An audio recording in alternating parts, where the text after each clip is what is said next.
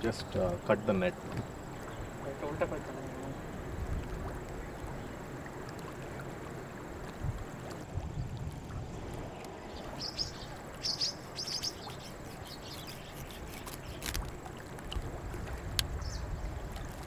This one, yeah,